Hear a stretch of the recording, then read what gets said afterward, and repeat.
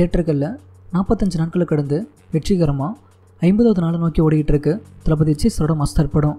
இதை பற்றி பார்க்குறதுக்கு முன்பு நடிகை ஐஸ்வர்யா ராஜேஷ் விஜய் சபதி குறித்து சில அப்டேட்டுகள் விலகிருக்கு இதை பற்றி கொஞ்சம் படம் பார்த்துருவோம்.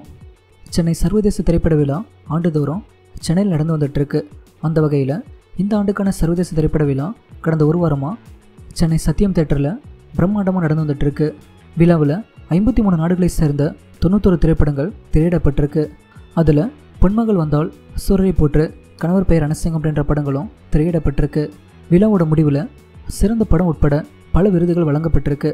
அதில் நடிகை ஐஸ்வர்யா ராஜேஷுக்கு சிறந்த நடிகைக்கான விருது கொடுக்கப்பட்டிருக்கு. விருமாடி டைரக்ஷனில் ஐஸ்வர்யா ராஜேஷ் விஜய் சப் இண்டிப்பில் வெளியான படம் தான் கணவர் பெயர் அனசிங்கம். அந்த படத்தில் அரியநாச்சி அப்படின்ற கதாபாத்திரத்தில் ஐஸ்வர்யா ராஜேஷ் செம்மையாக நடிச்சிருந்தாங்க. அதற்காக நடிகை ஐஸ்வர்யா ராஜேஷுக்கு இந்த விருது கொடுக்கப்பட்டிருக்கு. சிறந்த நடிகைக்கான விருது வாங்கியிருக்கோம். நடிகை ஐஸ்வர்யா ராஜஸுக்கு பல தரப்பில் இருந்து வாழ்த்துக்களும் குவிந்த வண்ணம் இருக்குது இப்படி இருக்குன்னு ஒரு பக்கம் தமிழ் சினிமாவில் பிரபல நடிகராக இருக்கும் விஜய் சபதி ஏன்ட்ரியாவுக்காக திண்டுக்கல் சென்றிருக்காரு.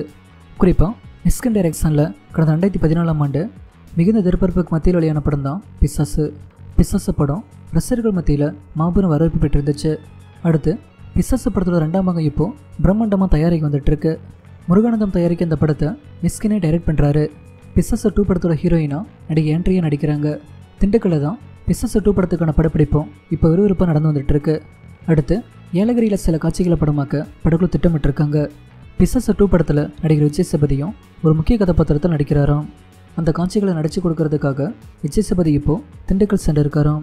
ஏன்ட்ரியா மற்றும் விஜய் சபதி சம்மந்தப்பட்ட காட்சிகள் தான் இப்போது திண்டுக்கல்லில் படமாக்கப்பட்டு வந்துட்டு இருக்காம் இப்படி இருக்குன்னு ஒரு பக்கம் லோகேஷ் கனகராஜ் டைரக்ஷனில் விஜய் சார் விஜய் சபதி மாளவிகா மோகனன் ஆண்ட்ரியா அர்ஜுன் தாஸ் சாந்தனோட பல சினிமா பிரபலங்கள் சேர்ந்து நடித்து கடந்த பொங்கல் ரேட்டாக ஜனவரி பதிமூணாம் தேதியில் தமிழில் மட்டும் இல்லாமல் தெலுங்கு கன்னடம் ஹிந்தின்னு பேனந்திய மூவி ரிலீஸ் ஆன படம் தான் மாஸ்டர் தேட்டர்களில் ஐம்பது சதவீத இருக்கைகளுடன் மாஸ்டர் படம் ரிலீஸ் ஆகியிருந்தாலும் வசூல் ரதிய மாஸ்டர் படம் ஹாலிவுட் படங்களையும் பின்னுக்கு தள்ளி பல சாதனைகளை படைச்சு வந்துட்டுருக்கு மேலும் மாஸ்டர் படத்தை கடந்த மாதம் இருபத்தொம்போதாம் தேதியிலேயே ஓடிடியில் ரிலீஸ் பண்ணியிருந்தாங்க. மாஸ்டர் படம் ஓடிடியில் ரிலீஸ் ஆனதுக்கப்புறம் தேட்டர்களில் பொதுமக்கள் கூட்டம் குறைஞ்சிரும் அப்படின்னு பலரும் நினச்சிக்கிட்டு இருந்தாங்க. ஆனால் அதையும் மீறி கடந்த ஒரு வார காலமாக மாஸ்டர் படத்தை தேட்டரில் பார்க்குறதுக்காக பொதுமக்கள் கூட்டம் கூட்டமாக தேட்டர்களுக்கு வந்துட்டு இருக்காங்க. மாஸ்டர் படம் ரிலீஸ் ஆகி நாற்பத்தஞ்சு நாட்களை கடந்துடுச்சு.